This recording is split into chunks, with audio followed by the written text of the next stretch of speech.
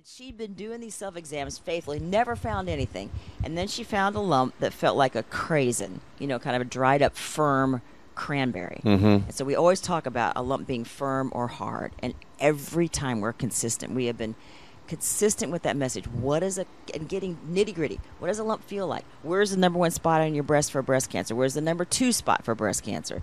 Um, the upper outer, outer quadrants one, around the nipples number two. Uh, Just really digging into the earthy details. it. And then also, we go out a lot and we speak to groups constantly. Last October, I think I spoke at 31 different places um, because you meet women who say, I did breast cancer, I did buddy check too. And they stand up and tell the whole room of their fellow employees.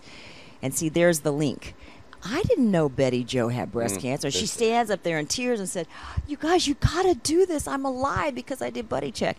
It's just that echo of the voice. It's giving everybody a voice.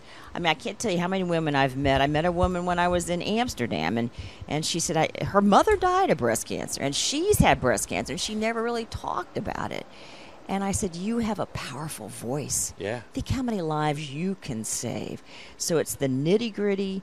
It's telling women to rise up and talk about it because people will honor what you're saying. And when those people get up, it makes it relevant. Yeah. This is not just a news story. Oh, it's their friend at work. That's Yeah. what's important.